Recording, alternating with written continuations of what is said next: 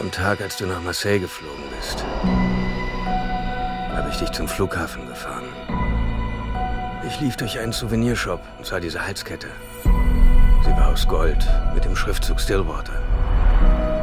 Ich dachte, das wäre ein Stück zu Hause, das du mitnehmen kannst. Some folks are born made to wear the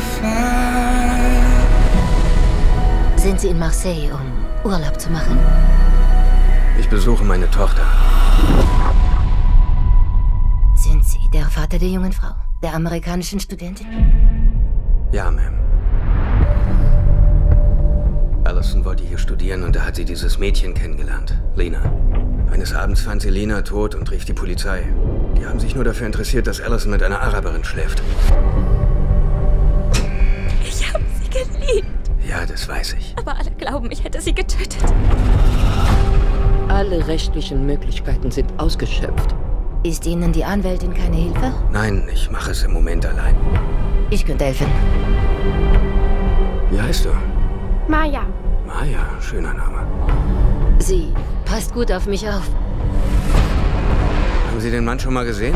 Niemand redet mit Ihnen, glauben Sie mir. Sie sind nicht von hier. Es ist gefährlich für Sie.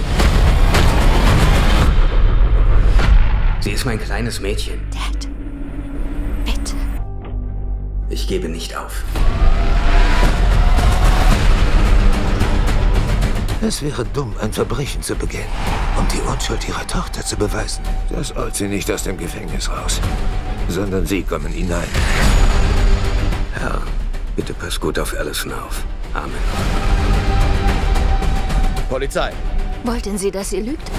Ich will, dass meine Tochter freigelassen wird. Der Rest ist mir scheißegal. Jetzt klingen Sie wie ein Amerikaner. Gut, das bin ich. Ja, und Sie sind doch ein Fremder hier. Was hast du getan? Du musst mir einfach vertrauen.